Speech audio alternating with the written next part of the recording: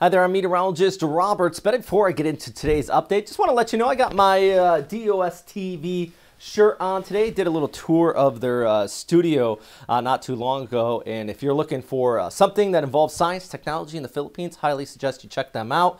Uh, I'll put a link down below. I have the suit on over top of it because unfortunately the shirt they gave me, it, yeah, it's got a ton of green on it. But anyways, just wanted to start off, talk about that real quick. High pressure dominating the Western Pacific today though, and uh, really keeping things dry across the Mariana Islands, even all the way back towards the Philippines. You still have a little bit of an easterly flow, some afternoon showers kicking up across some of these areas, but overall, this is the area I want to watch next. It's this easterly uh, wave uh, developing towards the south and east of Guam. And you can see on our GFS SpaghettiOs, ECMWF doesn't really show it too much, but the GFS really continuing to want to develop something near the Philippines as we go ahead into the latter part of next week. We're talking about, about Wednesday into Friday of next week. So definitely want to keep a, a, very close eye on this. Now, if anything did develop, especially if it hit this upward uh, area of uh, vertical motion, positive vorticity around Guam, you definitely could be seeing a little bit of an increased convection at the very least, which would increase rainfall across the Philippines. Low chance of recurvature as well. As you can tell, high pressure dominating here, so the overall background flow will continue to carry something towards the Philippines unless it edged further towards north and just pulled towards the east. I mean, there's just a million questions to be had here, guys. That's the key thing I want you to take away. This this is an area to watch right now, but it has been the number one question people have been asking me. So uh, definitely want to continue to keep a very close eye on it at the very least at this time.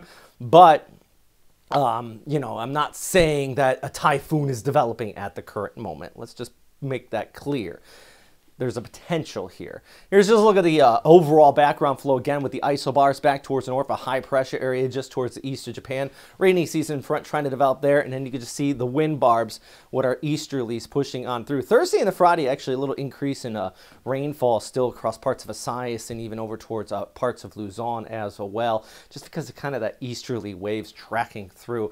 We start to see a Monday and the Tuesday next week increase areas, these low pressures popping up on our model. That's also that increase in rainfall as well. So boy, we got to keep an eye into next week. Like I said, the SpaghettiOs, those ensembles, which is basically the model's confidence, getting uh, ever more increasing. More rainfall though today here as we go ahead into your Friday across Mindanao. Cebu at 30, Tacloban at 30 as well. Actually, Roxas going to remain dry for once there for you, 30 degrees. Look further towards North Manila, also looking at a little bit of sunshine. But like I said, still got kind of that easterly wave. So Iligan, 32 degrees, chance of some afternoon thunderstorms on your Friday. I think things will dry out more for you guys here across central and northern Luzon heading into the weekend. But for now, uh, still going to be looking at that chances of afternoon areas of rainfall, especially in the mountains. You just kind of get those moistures hitting that orographic lifting further towards the north.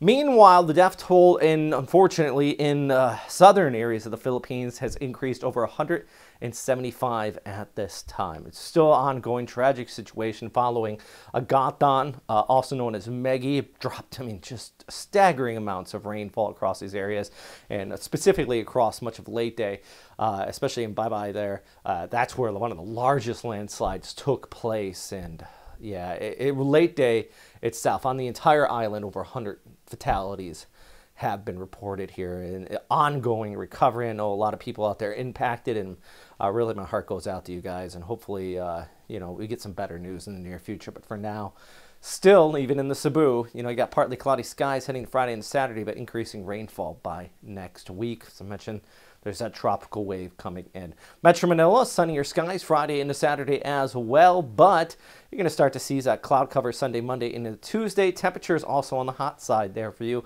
Like I said, north of Metro Manila, definitely going to be seeing that increase in the precip. And taking a look uh, at all our Patreons, hey, if you guys want to help out, you don't have to join Patreon either.